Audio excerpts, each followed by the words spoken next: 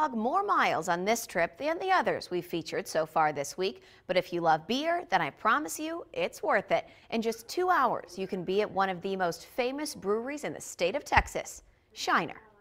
It's a beer lover's dream. Seven different kinds of Shiner on tap. And before the tour even begins, you'll get to taste four of them. Um, they can carry the beer with them during the tour. No matter how early it may be. And we've got some in there just waiting for us to pull a tap open at 9 o'clock in the morning.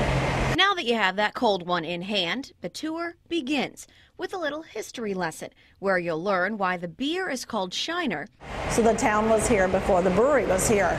But in Shiner in those days, 100 years ago, you had Shiner Family Pharmacy, Shiner Hardware, Shiner Restaurant, and Shiner Bar. Everything was Shiner this or that. Uh, so what better way to do it but keep it with Shiner beers. But the brewery is called K. Spoetzl.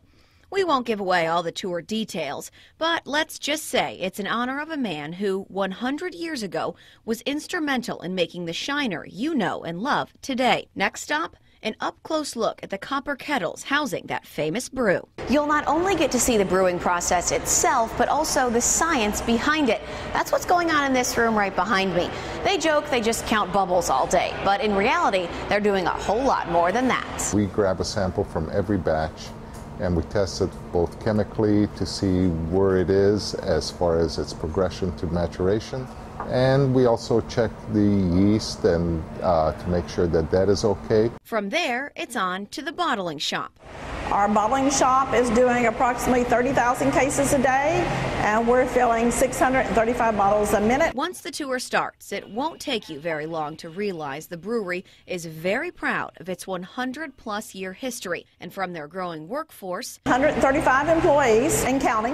We're hiring if you're looking for a job. To the sights and sounds of construction all around the brewery, it's clear they don't plan on going anywhere anytime soon. Because while there may be a drought in Texas, perhaps this sign in the beer tasting room says it best. There's never a drought in Shiner. Tours run Monday to Friday all summer from 10 a.m. to 2.30 p.m. The best part, both the tour and the beer samples are free.